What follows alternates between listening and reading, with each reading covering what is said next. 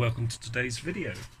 So today we're going to be looking at getting your RISC PC, which is in my case running RISC OS 3.7, uh, getting your RISC OS 3.7 machine to actually be able to access an FTP. In this case the FTP is on my local uh, NAS drive. As you can see here it's actually connected and working fine using the FTPC application which seems to be the go-to application for um, connectivity of this sort of nature. Now, there were a couple of things that I needed to, to do first. So a couple of updates. The first thing is I've given up on RISC OS 4.02 for the moment, although it's something I will revisit uh, probably when I replace the hard drives. I'm going to go for a larger hard drive. So I'm running quite low on the 210 meg drive that's in there at the moment. Anyway, I digress. The first thing that we need to do once we've got our base installation is we need to update the system component which lives within boot. And I remember rightly it is somewhere in here it is within our boot folder.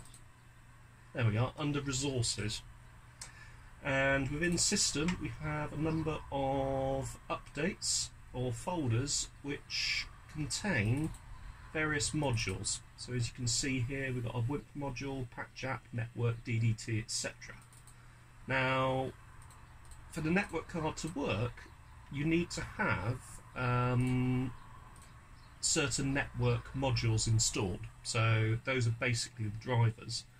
Now I managed to find those online I burnt them to a CD on the PC and using obviously the CD I was able to bring those across to the RISC PC so there is actually a series of patches that are available for um, RISC OS so if I just open up um, Sparkplug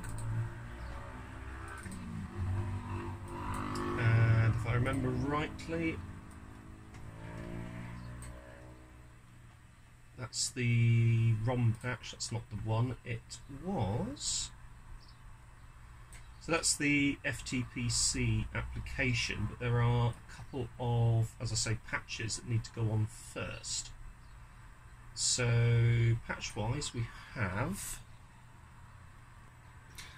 so we have the Shared C library, uh, which is available from riscos.info forward slash index.php forward slash shared C library. And that will produce a zip file called peeling system. If we go back to the RISC PC,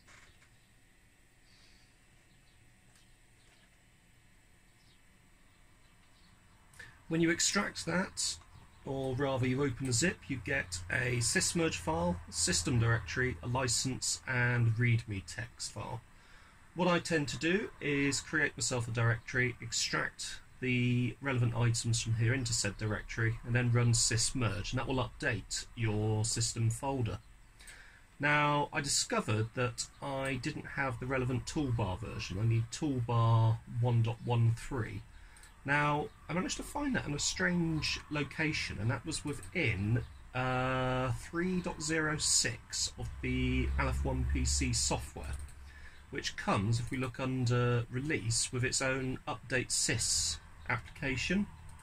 And within Update Sys, we have a number of components, or rather items, which are updated.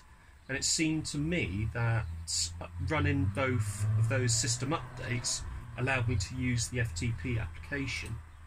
So on the other side, I've got a D-Link DNS 320 NAS and within there I had to enable one of the volumes, or you can just do it at sort of a folder level, enable one of the folders to be um, shared. So in other words, allow it to be capable of not only being shared as a standard folder, but also being shared via FTP. So to connect, all we have to do is open up the FTPC application. In my instance, I just put in my host, which is that IP address there. I leave the user, password and account blank. no security as I've kept it as simple as possible. I can harden it um, post um, getting it working. So generally what I try to do is get things working first, then apply security afterwards. So if we go to connect, that takes me to one of the disks in the machine. Go into the RISC PC directory.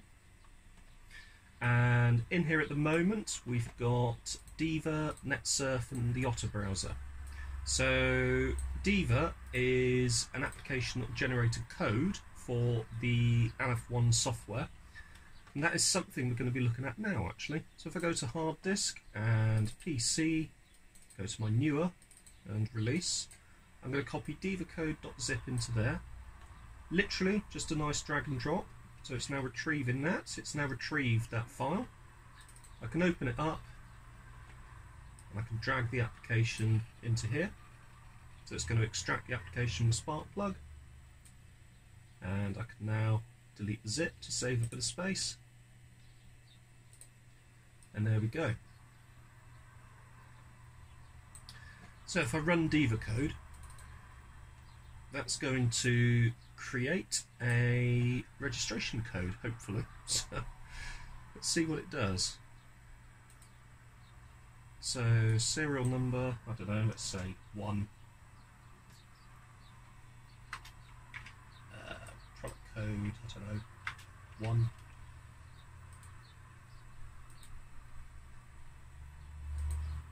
There we go, it's actually just generated by clicking on there a nice little registration code. So I'm going to go to my install PC software.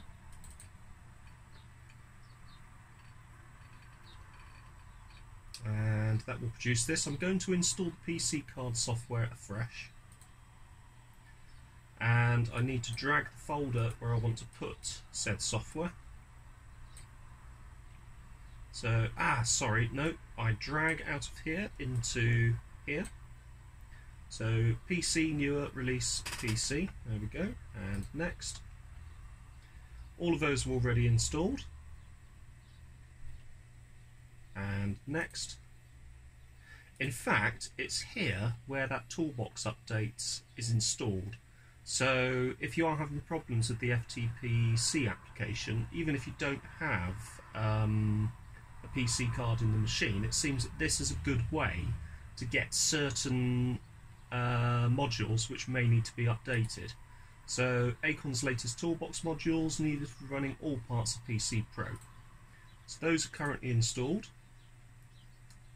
We click next. We've got our registration code. So let's see if we can pop that in. So that's going to be PXWG. There we go. And there we go. Hit next and start. Now it's unpacking PC and PC config.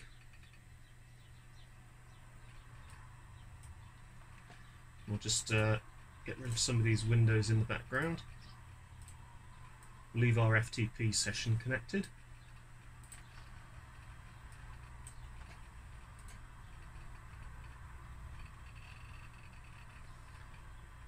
and doesn't actually take that long to actually upgrade it. So we can run PC, we can install Windows 95, DOS, and then Windows 3.x, or just DOS on its own. So I'm going to exit the installer, and I'm in here now, so we've got our make boot disk, we've got PC, we've got PC config. So if we go to PC config,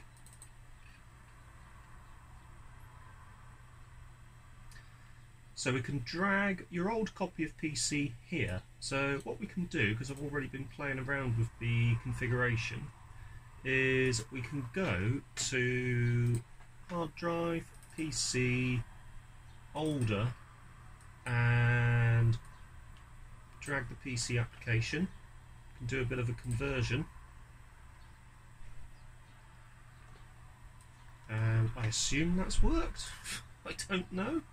Let's go to PC config and see if it has worked. So if I reopen PC config, so it comes up 3.06. If I go into PC config, There's quite a few more options in here now. So disk setup, it's yeah, it has actually read our configuration file. So we've got our hard drive here. That's already there. That's good to go. Uh, memory wise, I assigned it 32 megabytes of RAM. That's allocated. That's good. Um, we're going to support VESA 2 and Direct Draw. Why not? Front end, uh, I'm going to select middle mouse button only for switching out. Starting as a full screen. Um, if you start it in a full screen mode, you actually get the full benefit of the speed of the actual PC card itself and also the graphic speed because you're not having to draw the RISC OS desktop. May work better if you have a StrongARM processor as well, to be honest with you. Uh, display wise, we are starting 640 by 480 with 256 colours. We can change that if we need to. We can also set up fast video. We can also automatically switch to single tasking. Advanced, misconfigured settings in this section can seriously affect the PC. This is almost sort of like a BIOS by the looks of it. Um, gives you the cache options. It's best to leave all of these by default in my experience. So we'll leave that one very much as it is. We'll leave that one very well alone. Obviously you've got your serial port, you've got the printing option so we can allow the PC card to access the parallel port directly. Um, we can ignore RISC OS printer stream, we can redirect whatever you need to do. It does take a bit of sort of hit and miss to actually get it working, but it is something that we can experiment with when we come to install Windows. And once that's done, you can actually launch your new PC application, which is here. So we go PC. There's activity from the hard drive, and what will happen? So it'll start, it's allocating RAM,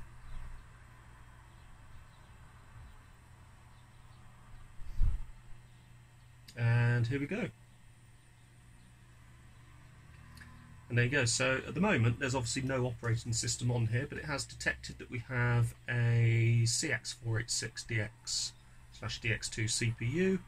We've got 32 meg of RAM, and we are pretty much ready to go. So if I middle button out of this, I'll be able to go over to the PC,